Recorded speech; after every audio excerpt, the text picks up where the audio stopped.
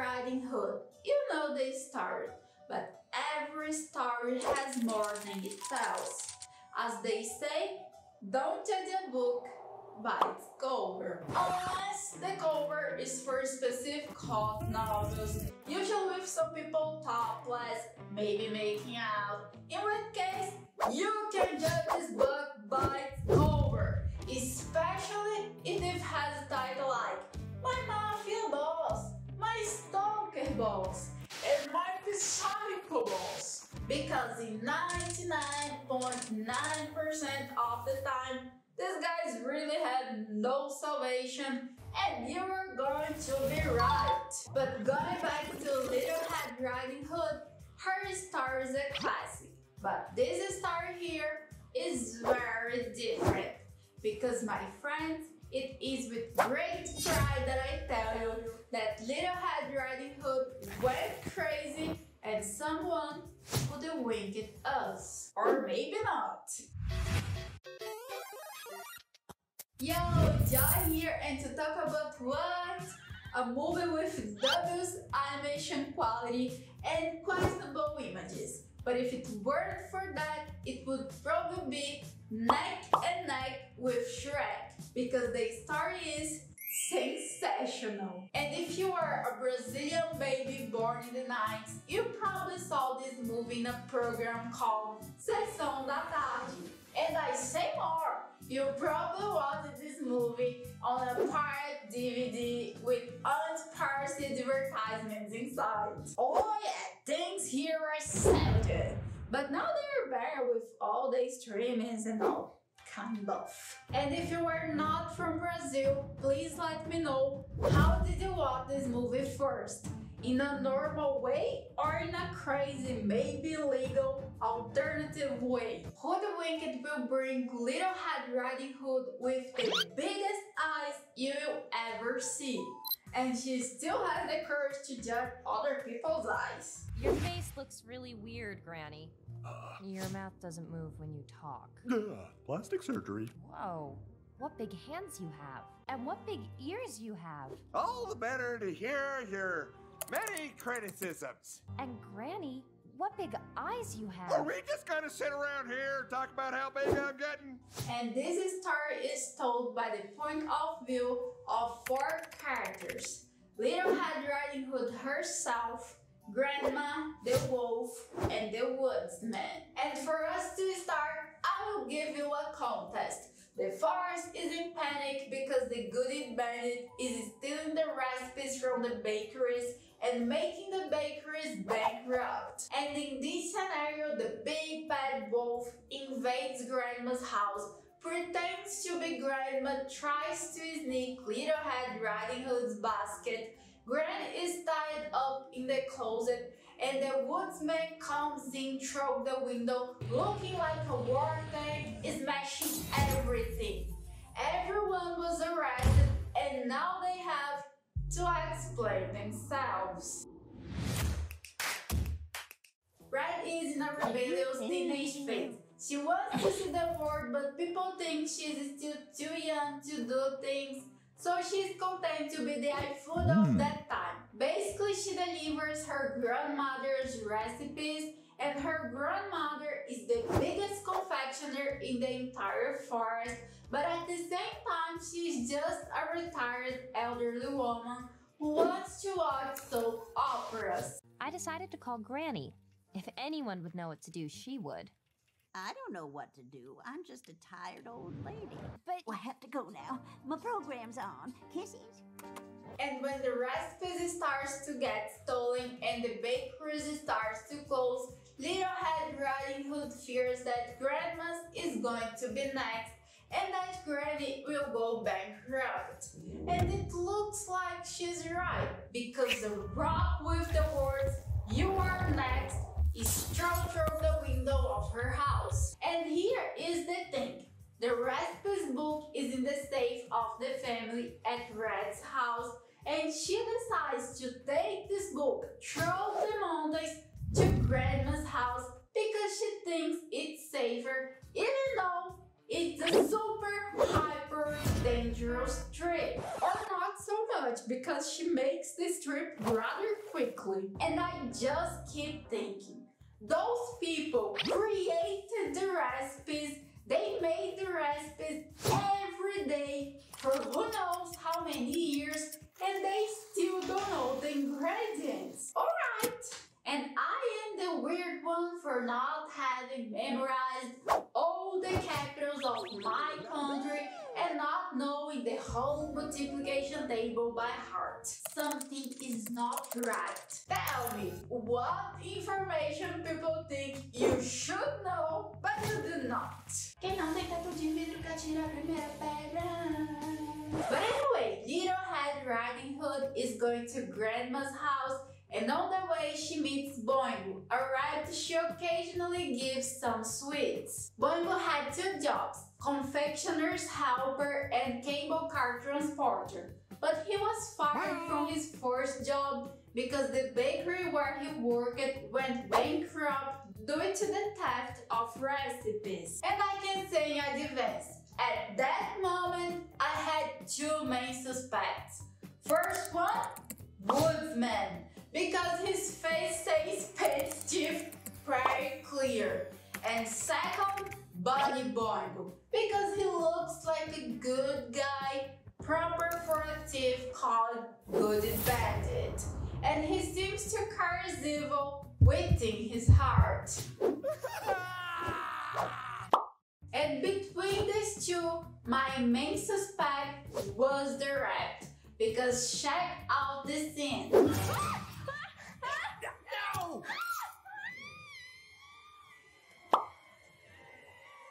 Doesn't it look like he's trying to get the basket with the book of recipes instead of trying to help Red?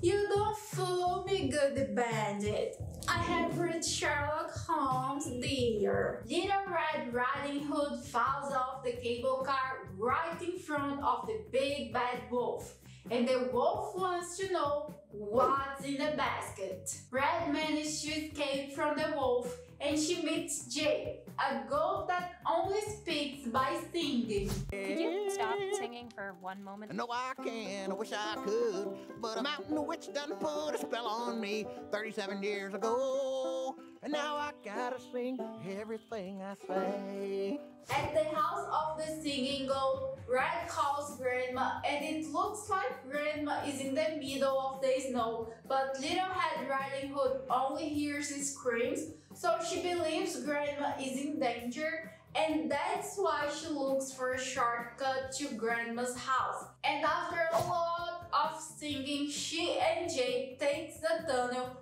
while would avalanche chase them both. And then boom! Red makes it to Grandma's house. But as you know, Red is going to find the wolf dressed up as Grandma.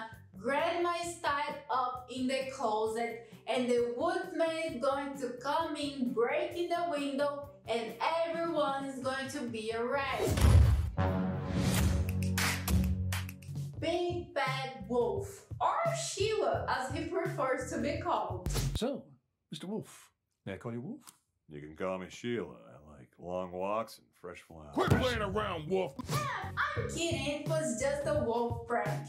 His real name is Wolf W. Wolf, and he is a reporter, which I suspected when I saw a photographer's curl with him. It turns out that the big bad wolf works undercover, and he has of the Goody Bandit for six months and his main suspect has become Little Red Riding Hood because she's the one who has most contact with sweets in the entire forest, according to himself. Source Voices from the Wolf's Head. And for more information, he goes to one of his informants, Woolworths, a ah, ship. I found the character very realistic. He only remembered the information as the money comes in. Alright, here in my country it would probably be less money and more slaps on the face, but I thought the dynamic was very cool. What do you hear about the Goody Bandit?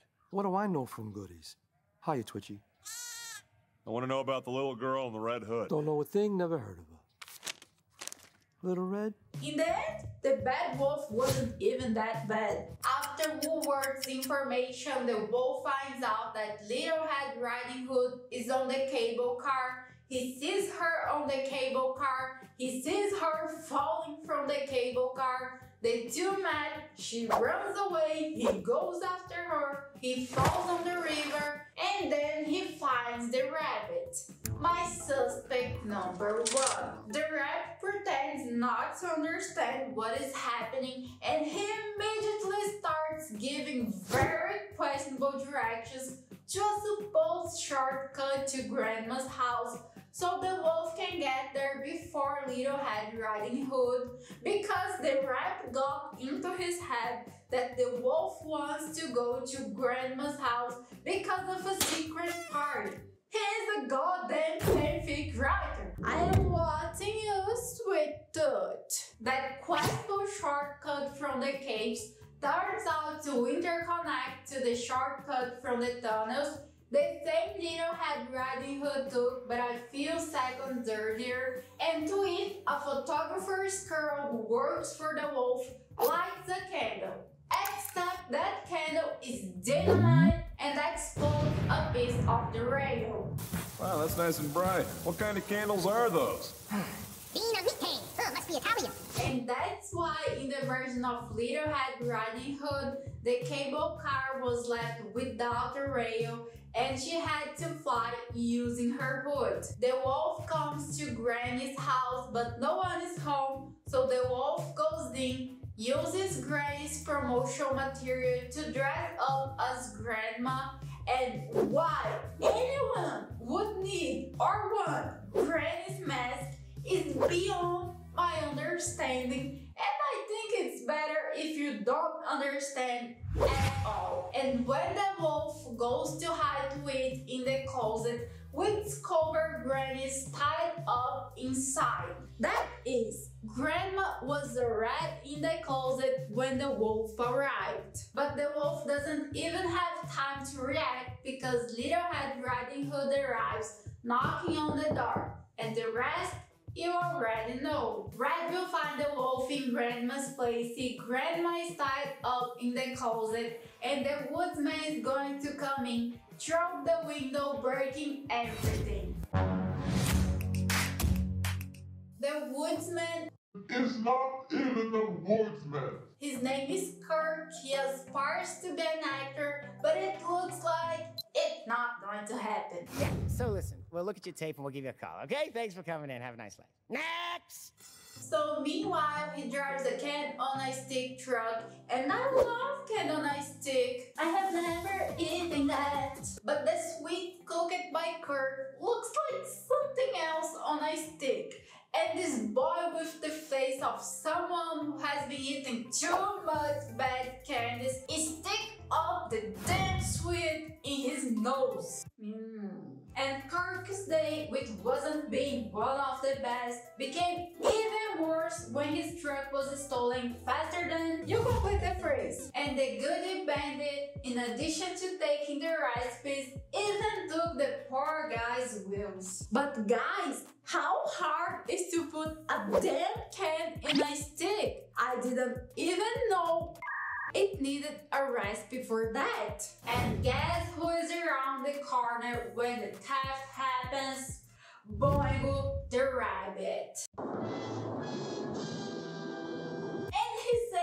The following sentence. Chin up, mister. Maybe someday somebody will open up a great big goodie shop and we can all work for that little guy. If that is not suspicious, I don't know what is. And the woodsman may not be the smartest little head in the class, but even he finds Boingo's sentence suspicious. But his reasoning is cut off when he receives a call from the person responsible for the auditions he did, saying that the client actually liked his test but that he needs to become a real woodsman. Basically, wax whatever comes his way. Imagine if the audition was for a serial killer. and when he's finishing cutting a big, giant, freaking tree, he hears Red scream, which distracts him, and the tree he was cutting starts rolling behind him. He starts to run and falls inside Grandma's house, breaking the window. And the rest you already know. Little Red Riding Hood was in Grandma's house. The wolf was pretending to be Grandma. Grandma was tied up, and the fake woodsman arrived, breaking everything.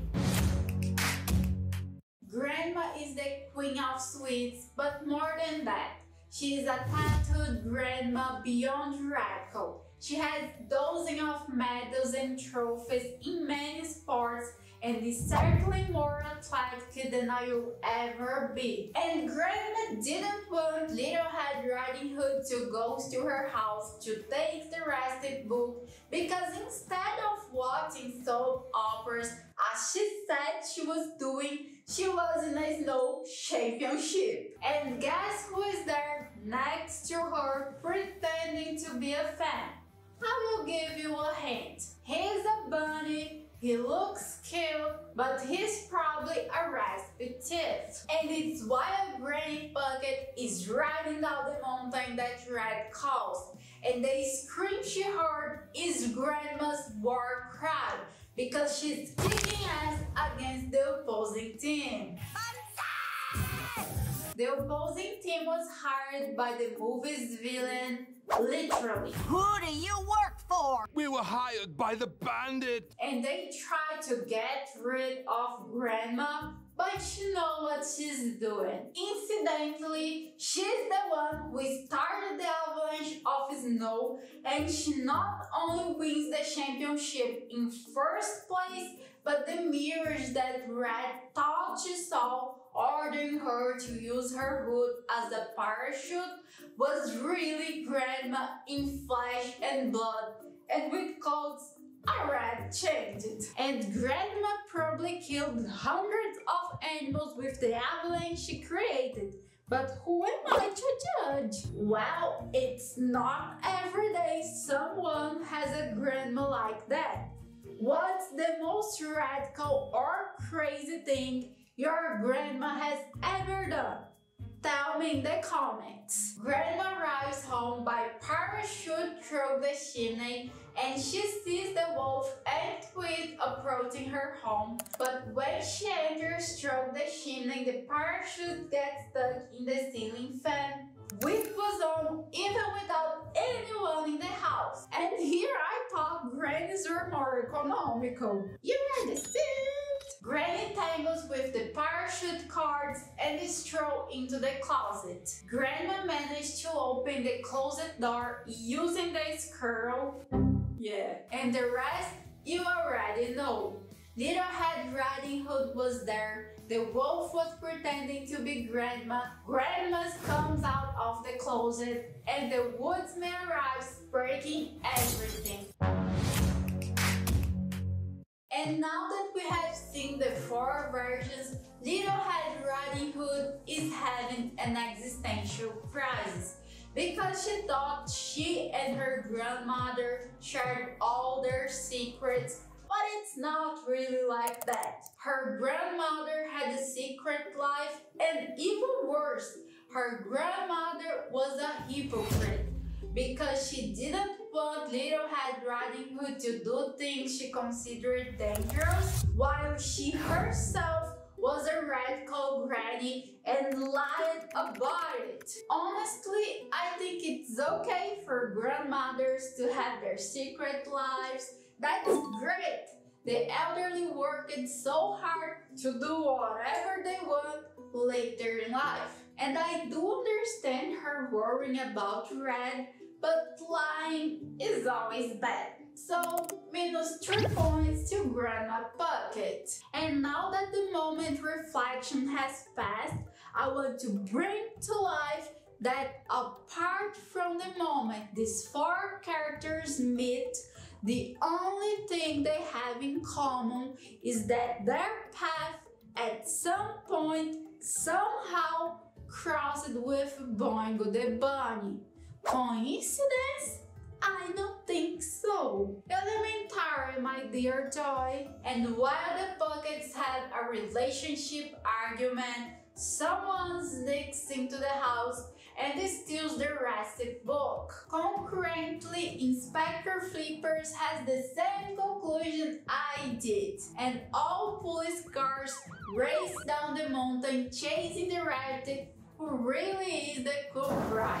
However, the police are going in the wrong place, so they need to give coffee to Tweet as Colonel Red talks at a 3x speed without anything so he can reach the police in time and warn them that they are going in the wrong direction. At the same time, Grandma the wolf and the woodsman kind of are going after Boingo and Red because Red saw Boingo stealing the recipes book, went after him, confronted him, ended up losing, got arrested by Boingo, and now is having to watch a slide presentation about Boingo's evil plan. What a dedicated villain! Boingo intends to send Red home in the Dynamite Express, which is nothing more than a cable car explosives to blow up the competition and Little Head Riding Hood. But the combo Granny, Wolf, and Woodsman are there to save the day. More Granny and the Wolf. And meanwhile, poor little Tweet is still trying to make the cops to get what he's talking about. Take a whoop, you go down, down, the granny the wolf the big, big guy going after red. We gotta help, APB, get the money. What's he saying? Little Head Riding Hood starts to go down the mountain in a cable car without brakes, full of explosives, and Grandma Puckett goes after her in a form of cupcakes. In this world, we're going to see things, Karen. The evil gang goes after Grandma. Grandma managed to save Little Head Riding Hood, and the police finally decipher what Tweet was saying by slowing down his speech through a tape recorder.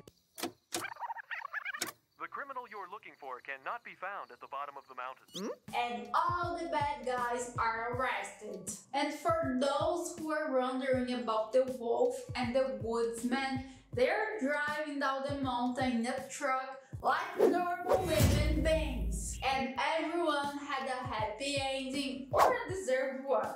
I guess. The rat was arrested, the recipes were returned, Little Head Riding Hood and Grandma made up, the singing goat became the new delivery man, the wolf wrote his article, the woodsman became an actor in a musical, and Tweet, Grandma, Little Head Riding Hood, and the Big Bad Wolf joined the secret organization Happily Ever After, to which Agent Flippers is also a member, and now they are secret agents. That is it, folks. I think this movie is genius. I had watched this movie before, but I think I was too young because I didn't remember a thing, and it was great to watch it again. This movie is from 2005, and some rumors says that the animators were learned how to animate while animating the movie. If it is me or true, I don't know.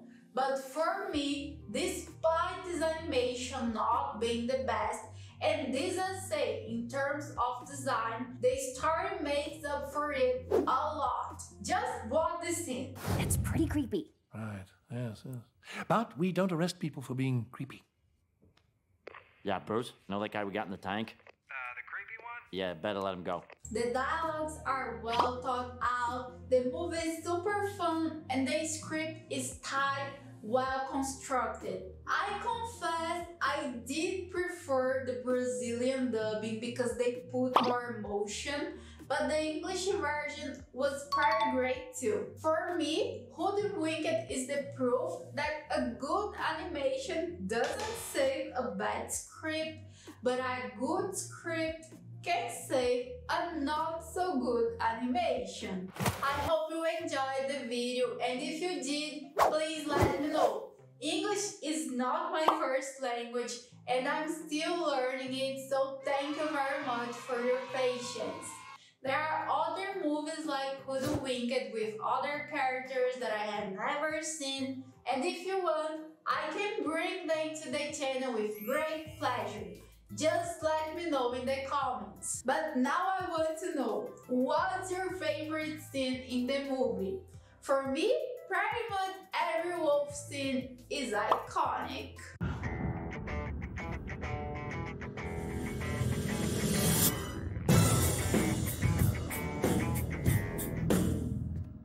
I get a drink? No. What What did you say your name was?